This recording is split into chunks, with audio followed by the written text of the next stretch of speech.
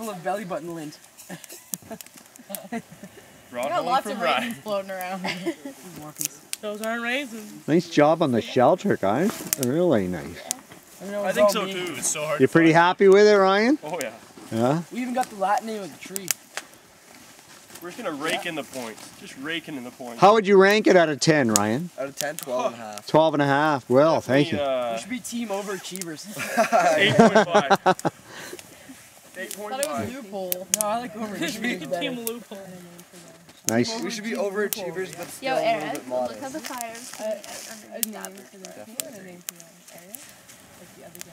No, just Okay, look, is this water hot just yet? look at it, man. Because once it's hot, we can We need a couple more sticks on that bad boy. Yo, what time is it? Let's take some big sticks there. Ronaldo! He's coming. Hey, Emma. Why'd you get cedar? It's 240. Yeah, You wouldn't got cedar? Yeah, we're on a mission. Why we weren't gonna put cedar in the tea? Change your mind.